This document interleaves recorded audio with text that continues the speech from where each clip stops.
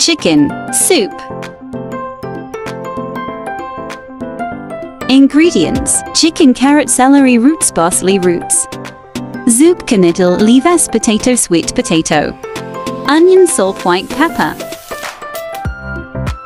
Fill up the pot with water and place the chicken in it. Let it boil.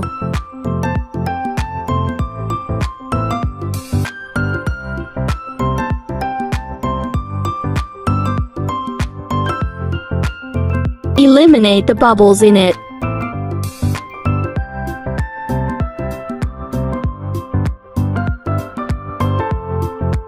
Put the onion,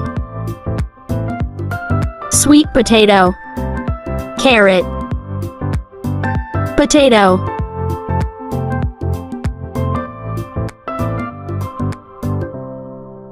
zucchini, dill leaves, celery roots and parsley roots. Season it with salt and ground white pepper.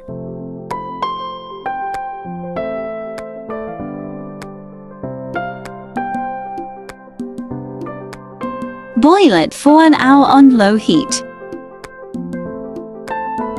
Here is the tasty and meaty chicken soup.